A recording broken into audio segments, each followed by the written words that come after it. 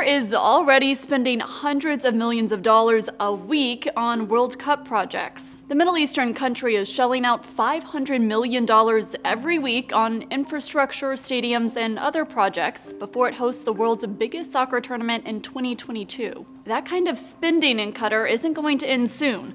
The country's finance minister said it will likely continue until the games begin, and total around $200 billion in infrastructure when it's finished. That's a lot of money to spend on one event. So, what happens to the investment when the World Cup is over? If past host countries are any indication, it may not pan out well. Brazil's Maracanã Stadium got a facelift before the 2014 World Cup and 2016 Olympics. Now it's in disrepair, and the owners of the stadium owe nearly $1 million in unpaid electric bills. A handful of other Olympic stadiums around the world have also been abandoned. Qatar has five years to get ready. The next World Cup is set for 2018 in Russia.